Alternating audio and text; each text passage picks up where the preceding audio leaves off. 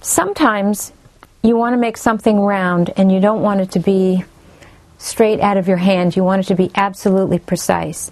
In which case, you're going to use something called a compass.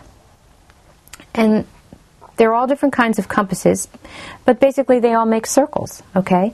This is a compass that has a pencil, lead pencil, lead on the on the one end of it. Now, this is going to be the center of the circle, and what I have to remember is that I have to keep this very firm. So I'm pressing down more here than I'm going to be pressing here. I'm going to hold my paper down and I'm going to be careful and mindful the whole time I'm doing this, still pressing, still pressing on the center, still pressing, still pressing, and coming around, and there you go. And then this guy will allow me to go like this, so then I could go like this.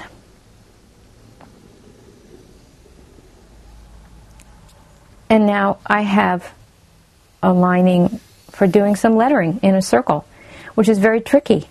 So I'll have to teach you about that someday. This is a smaller compass. Same idea, just a smaller guy with a very, very pointy part to it, so you have to be very careful. Yes, I have stabbed myself, and it's a horrible thing to do to yourself, so you have to be very, very careful. Well, you wouldn't want to do it to anyone. All right, now what I've just done, I should have showed you that. What I've just done is I've filled this guy because this is a like an inked inky compass.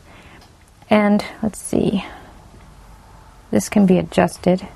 See if we can get this to work. First you have to get this to go. This is why I don't like that.